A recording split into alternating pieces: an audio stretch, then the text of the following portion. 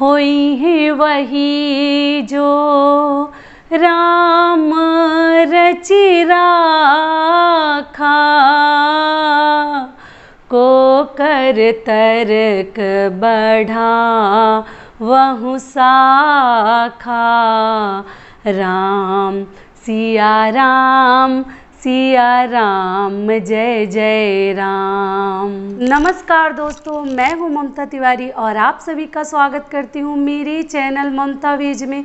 कैसे हैं आप सब? तो ये बताने के लिए हर हर महादेव, ओम नमः शिवाय। अवश्य लिखिए। तो चलिए, आज हम इस वीडियो में जानेंगे माँ शिवरात्रि, मासिक शिवरात्रि जिसको बोलते हैं, जो हर माह की शिवरात्रि करते हैं। तो उनके लिए चलिए आज मैं बता देती हूँ कि कब है पूजा की विधि तो मैं ऐसे कई वीडियोज़ में बता चुकी हूँ, लेकिन उन लड़कियों के लिए मैं बता दे रही हूँ, जो लड़कियाँ अपना गठबंधन नहीं कर पाई और शादी से संबंधित मैं कई महत्वपूर्ण उपाय बताई थी महाशिवरात्रि में, लेकिन लड़कियों को करने लायक नहीं था या किसी और कारणवश अगर आपका छूट गया है तो आप वो सब उपाय मासिक शिवरात्रि में भी कर सकती हैं। तो आप लोगों ने पूछा था कि मासिक शिवरात्रि कब है, इस महीने में अप्रैल में आप हमें ज़रूर बताइएगा वीडियो ज़रूर डालिएगा। तो इसलिए मैंने सोचा कि चलिए आप लोगों के फ़ायदे के लिए और आप लोगों को थोड़ा सा उससे सहायता मिलेगी। तो इसलिए आज मैं आप लोगों के लिए ये वीडियो लेके उपस्थित हूँ। तो इस वीडियो में मैं उन उपायों को, जो उपाय आपसे छूट गए हैं, आप लोग नहीं कर पाए हैं तो इस शिवरात्रि के दिन आप ज़रूर कर लीजिएगा। तो वो शिवरात्रि कब है? तो इन सभी महत्वपूर्ण बातों को हम इस वीडियो में जानेंगे। आप बने रहिए मेरे साथ मेरे चैनल पर। और अगर आपको मेरा वीडियो पसंद आता है तो प्लीज़ आप मेरे चैनल को सब्सक्राइब कर लीजिएगा, बेल आइकन को प्रेस कर दीजिएगा, जिससे मेरे वीडियो के नए नोटिफिकेशन आप तक सबसे पहले पहुँचे। तो चलिए शुरू करते हैं। तो सबसे पहली बात है कि शिवरात्रि जो है इस महीने अप्रैल में 10 अप्रैल को है। दिन है शनिवार। तो जितनी भी लड़कियाँ हैं जो महाशिवरात्रि में शादी के उपाय, लोगों ने अपने उपाय नहीं किए थे, किसी कारणवश छूट गया था, वो सभी लड़कियाँ जाकर अपना पूजा कर लेंगी। शिव जी से अपने मन की बात कह के आएँगी, गठबंधन कर लीजिएगा, फूल लेते आइएगा।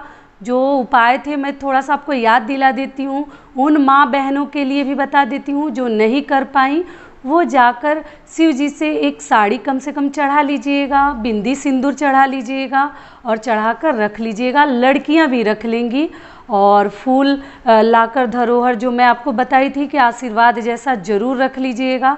तो इस प्रकार से आप शिव जी की पूजा अर्चना करके आइएगा।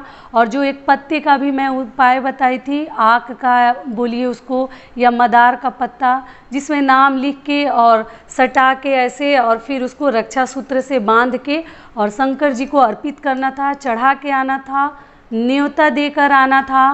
क्योंकि हम लोगों के तरफ़ शादियाँ होती हैं तो हम लोग कार्ड वगैरह न्योता देते हैं। जब फिक्स हो जाती हैं शादियाँ तब तो ये शादी से पहले वाला नियम है जो हमें कार्ड देना है शिव जी को और उन्हें आमंत्रित करना है कि जल्दी से जल्द हमारे घर में आप आइए, आपका आगमन हो और हमारे घर में जल्द से जल्द शुभ कार्य आरंभ हो। तो इस प्रकार से आप कर लीजिएगा और फूल को लाकर किसी बक्से वगैरह में डाल दीजिएगा धरोहर के तौर पे।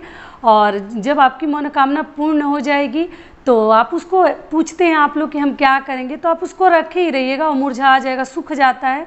लेकिन कहीं ना कहीं उसको अच्छी जगह सेफ्टी से रख दीजिएगा, कहीं किसी का पैर वगैरह ना पड़े।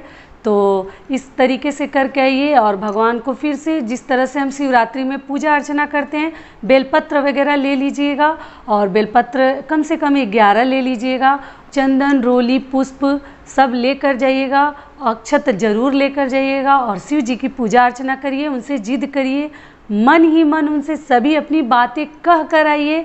तो इस प्रकार से आप पूजा अर्चना ज़रूर करिएगा शिवरात्रि को और 10 अप्रैल को पड़ा है और हर मास की शिवरात्रि को मैं आपको याद दिलाते रहूँगी। आप लोग बोलते हैं कि कब है तो आप हमें ज़रूर बताइएगा। तो इस प्रकार से मैं बताते रहूँगी और आप अपना उपाय करते रहिए और विश्वास से करिए, घबराइए मत। देखिए किसी किसी का कार्य जो है जल्दी हो जाता है, शीघ्रता से हो जाता है। किसी किसी के कार्य में देरी भी होती है तो आप अपने धैर्यता को खोइए मत, धैर्य से रहिए। देर आए, दुरुस्त है भगवान का कार्य जो होता है, बिना हरि कृपा एक त्रिंग भी नहीं डोलता है। तो बाकी तो भगवान की मर्ज़ी है कि हो ही वही जो राम रची राखा, जो भगवान रच के रखे होंगे, आपके लिए लिख के रखे होंगे, जो जोड़ी बना के रखेंगे वही आपको मिलेगा। तो आप लोग बिल्कुल मत घबराइए। तो आशा करती हूँ कि हमारी बहनों को सभी बातें समझ में आ गई होंगी। हैं, लेकिन गठबंधन माँ को और बहन को नहीं करनी है, केवल लड़कियों को करनी है। तो आप गठबंधन भी ज़रूर कर लीजिएगा। तो इस प्रकार से आपको करना है। मैं गठबंधन करके भी दिखाई हूँ कि कैसे करनी है। तो आप चेकआउट करिएगा और उसी प्रकार से करके आइएगा। तो यहीं तक का था हमारा वीडियो। आशा करती हूँ कि इससे आपको लाभ मिलेगा। तो फिर मिलती हूँ एक नए वीडियो में। तब तक के लिए नमस्कार। स्वस्थ रहिए, सुरक्षित रहिए और हमेशा मुस्कुराते रहिए।